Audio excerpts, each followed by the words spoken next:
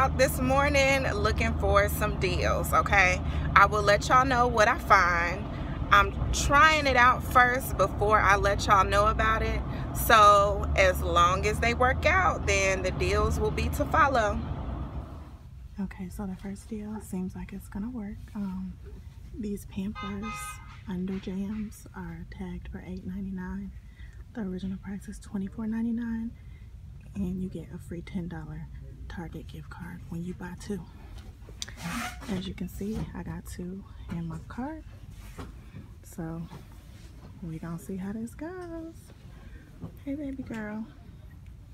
Hi. I was actually able to find one more box.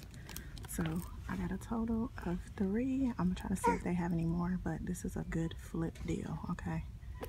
You can pay $8.99 for these and there's actually a $3 cartwheel. Mm. So mm. really not $8.99. You can pay $5.99 and flip mm. these and sell them for about $15, 20 bucks. Okay guys, so the first deal was a success. I'm so excited. So I'll explain it to you real quick. I went into Target. Um, they have Pampers Under Jams, which is like night pants for older kids um, that wet the bed.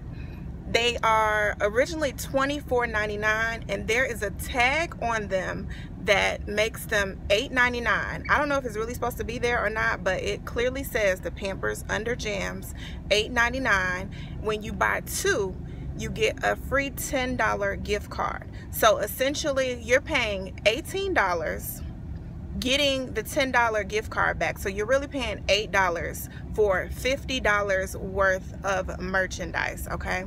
I'll show y'all my receipt because they had to change the price because when you scan it, it does not come up. It's still saying $24.99. So this will be, like I said, an easy flip deal. You spend, what, $9, like I said, and um, actually, no, I'm sorry, you're not spending $9 you're spending 18 getting $10 back. So yeah, you spend $8 and you can sell these for $20, 15 to 20 bucks on the marketplace. So um, that's a nice easy way to make some money. This is my Target receipt. You see the Pampers, it says um, $8.99 original price or regular price $24.99 I also used if you have the Target um, app they have cartwheel offers on there. So I was able to get three dollars off of that. So I got three boxes for nine dollars each. Then I also got three dollars off plus a ten dollar gift card. So for three boxes I essentially paid hardly nothing. So y'all really need to get in on this deal. Um I did take the gift card. Now if you you can do it this way.